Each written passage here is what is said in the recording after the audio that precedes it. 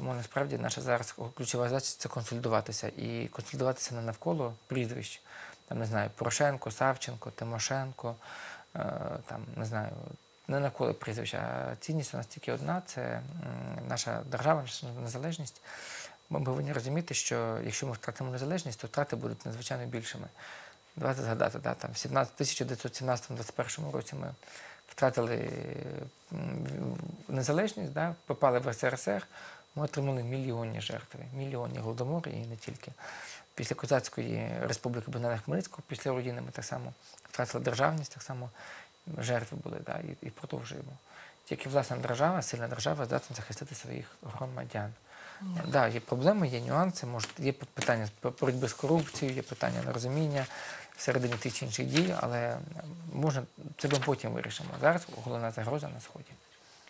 Завтра, до речі, повністю весь ефір. е, Це зараз, щоб ви почули, шановні глядачі. Ми вам покажемо різні точки зору щодо того, е, які є варіанти щодо зняття санкцій. От зараз е, Сполучені Штати Америки і представники Держдепу, після того як почули, що у Франції теж починають звертатися до європейських країн, що не можна цього робити, тому що це зрозуміло, що це поступки Російської Федерації.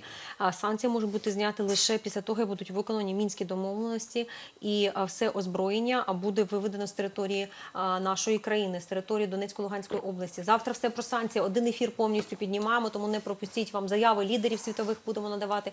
Е, Я так думаю, що е, президент е, Франції теж свою точку зору з цього приводу. Ну я так думаю. А можливо, сьогодні ми почуємо ввечері або завтра вже в день і зранку почуємо, як лідери інших європейських країн теж почнуть говорити, що можливо ми теж якісь поступки будемо робити.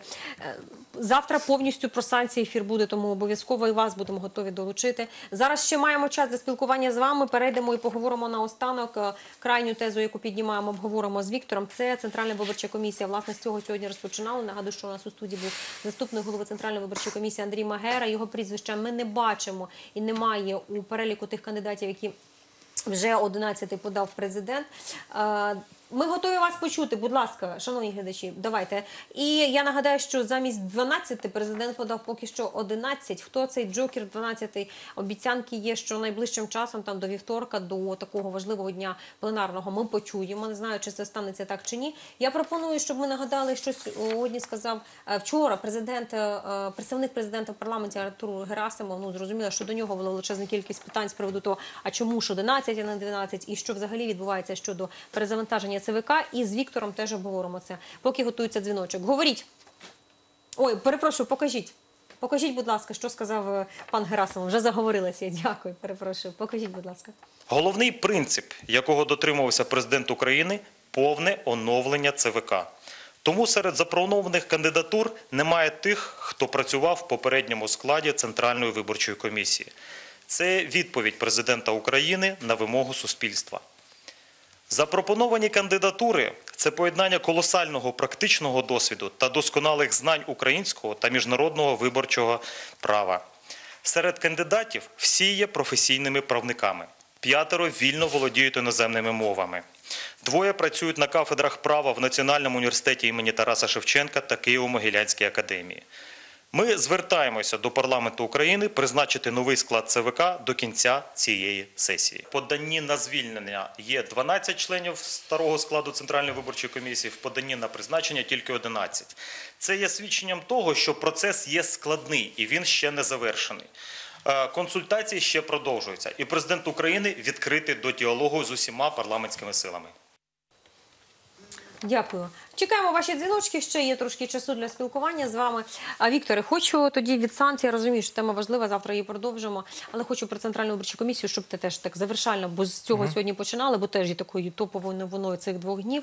Ми почули зараз і е, почули представника президента парламенті пана Герасимова е, з приводу того, чому 11, а не 12, так далі. так далі. Але власне я хочу знаєте, що у вас запитати. Ну дуже важливий момент сьогодні в ефірі озвучив Андрій Магера, що можуть бути е, ну. Наступна історія. Ці 12, які подані, що й будуть звільнені, вони можуть бути, бути звільненими. А от встигнути до 17 липня до проміжних виборів призначити нових членів ЦВК, можливо, цього не Та станеться. ні, це абсурд. І... Прошу, Ні, це що ви думаєте? Та ні, це абсурд. Я розумію, чому Магер це говорить, Андрій. да, Ну, Він одна з зацікавлених людей, тому що він е, був е, в, ну, умовно кажучи, там, в посткучмінівському там, період, да, там, е, в усіх складах ЦВК, по суті, да, і очевидно, що йому, йому теж обіцяли, що він буде в новому складі ЦВК, він мав піти по, по квоті Народного фронту, ну, але бачите, е, лідери найбільшої фракції домовилися, що буде повне оновлення ЦВК і нікого не буде зі старих. І тому дуже багато членів ЦВК намагаються деле- деле- делегітимізувати цей процес і, в принципі, будь-які вибори, да, лякати такими страшилками. Е, Андрій Поробій, спікер парламенту, чітко сказав, що на тому тижні є голоси і на звільнення, і на призначення. Якщо ми подивимося по чим квотам там є представники, голоси є. Чому? Там є квота БПП, є квота Народного фронту, є квота самопомічі.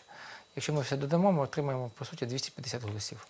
Чому ж, власне, там уже Тимошенко заявили, що це клановий, кланове ЦВК, бо там, по суті, не буде їхнього представника. От. Мене більше хвилює інше, що серед цих людей, які там подають, є прекрасні люди, як, наприклад, Да. Євген Радченко. А От є, сьогодні їх всі згадують. да. а є людина, як Роман Греба, це та людина, яка фальсифікувала неодноразове рішення Кабінету, Кабінету міністрів, е, коли за часів, коли працювала у Яценюка. Це, я про це писав і на цензурі писав, і на багатьох інших виданнях. Це та людина, яка була зловлена антикорупційною спільнотою провідною е, в тим, що він е, повторюсь, маніпулював із під час створення конкурсної комісії по виборам членів Національного агентства запобігання корупції. Е, І для мене питання: хто цю людину, яка е, фальсифікувала неодноразові результати, яку ловили на фальсифікаціях, веде в е, ЦВК. Народний фронт вже заявив, що це не їхня кандидатура. От БПП мовчить. Ну для, для мене я от мене вас просто особисте прохання да, до всіх задавати питання одне: людина, яка фальсифікувала результати конкурсної виборів конкурсної комісії, членів НАЗК, подається е, в е, Центральну виборчу комісію. Людина, яка фальсифікувала вибори, іде а в орган, тепер який має БПП бути і. Народний фронт що це наша Ні, питання подав президент. Його можна Ну, відкликати. та-да, я можна відкликати. Да, ще є час, да. Це та людина, яку Ще раз прізвище скажіть, щоб теж я Роман. Греба. Це тут- міжнародна спільнота вже сказала теж, теж в шоці. Да? Ми спілкувалися із міжнародними організаціями, вони чудово знають цю історію, знають там і ПРО, Європейська комісія та інше. Тому, вибачте, я буду задавати питання, ми задавали, будемо продовжувати питати, як таку людину можна подавати по чиїй квоті. Таку людину ця людина не має права бути в Центральній виборчій комісії. Її можна замінити за будь-кого по квоті, але не має права бути. Три хвилинки, є додзвонювач. Крайній дзвіночок на сьогоднішній вечір у програмі «Столиця». Говоріть, будь ласка. Добрий Е, вечір. Добрий вечір. Е, Мене звати Максим. Я з міста Маріуполя. Е, Я би хотів поставити питання до пана Віктора з приводу. От нещодавно був розподіл подань від різних партій, і власне опозиційний блок. Одну з кандидатур, яку заявив, якраз це був Михайло Федоровський. Скажіть, пане Віктор, яким чином можна взагалі трактувати це подання, і чи не можна би сказати, що власне чинна діяльність і попередня діяльність Михайла Хендовського якраз чимось пов'язана з діяльністю опозиційного блоку. Дякую. Е, Дякую вам. Е, Можливо, ми через два дні побачимося в Маріуполі. У нас там буде цікавий семінар по боротьбі з корупцією. Так що, якщо що, до зустрічі. Е, Дивіться, судячи з комірної книги партії регіонів, яка була прилюднена минулого тижня, там є факти, О, що нова теза. Комірна книга, не амбарна, а Чекайте, комірна. ми в Україні. Да, да, да, я, роз- ні, я розумію, я, я розумію, Е, дякую. Є людина О, бачите, з новий ініціалами варіант. Ахіндовський, да, Так він же яка- сказав, що це не його підпис. ні, так я ж ні, так я Щоб ж його кажу, є людина, ні, підпис дуже схожий, да? Є з з знаковими ініціалами і підписом, яка нібито отримала понад мільйон доларів і регулярно отримує. Більше того, є факт, якщо подивитися на майнову декларацію Ахіндовського, на його будинки, да, на його власність його та його сім'ї, ну які можливо пояснять, куди цей мільйон пішов і не тільки. Очевидно, що за ці речі він обслуговував завжди інтереси е, Януковича, починаючи з 2004 року. Він член ЦВК ще тієї, е, цієї першого майдану ЦВК, який Да. фіксував результати. Тому я думаю, що тут немає жодних співпадінь. Я думаю, що тут е, не випадково. Я думаю, що ця людина обслуговувала інтереси партії регіонів і їхнього клону опозиційного блоку і продовжує обслуговувати. І тому дуже добре, що ця людина вилетіла. Більше того, я переконаний, що ключ, е, одним із ключових факторів, що він вилетів з- фінальної частини, це саме комірна книга. Я думаю, що Вплинуло, це да, це все-таки, да? Однозначно, тому що давайте будемо об'єктивними. Він тричі проводив вибори вже при новій владі по-новому. Президенти парламентські місцеві. Він багато що знає. Очевидно, що ці знання давали б йому можливість залишатися при владі. Але тепер у нього є два варіанти: або він піде в набу, пояснювати, чи це підпис, або піде на пенсію доживати в своєму великому будиночку. Я думаю, що він е, обирав другий варіант. І е, йому буде непросто, його все одно буде набудьоргати, але це вже не член ЦВК, тим паче не голова. Крапка. Дякую вам. Менше хвилини, так.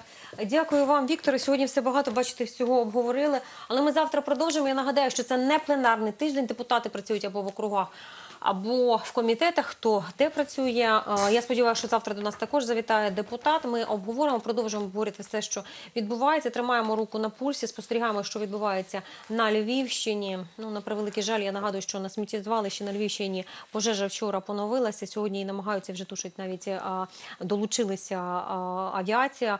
Е, мені головне, щоб без жертв. Правда, ви ж знаєте, я завжди так завершую. І на сході нашої країни, щоб без жертв сьогоднішня ніч минула. Віктору, дякую вам, що завжди приходите і аналізуємо так, от як є, чисто і відкрито прозоро, бо так має бути. Можливо, у вас є свої вподобання, можливо, є те, що вам не подобається, але я дякую, що завжди приходите. От ми дійсно такі якісь, можливо, навіть е, даємо чітку картину того, що відбувається. Віктор Таран, голова центру політичних студій та аналітики, політолог, публіцист, громадський діяч. З ним сьогодні завершуємо. Зустрічаємося завтра ввечері о 7 годині. Не перемикайте, будьте з нами.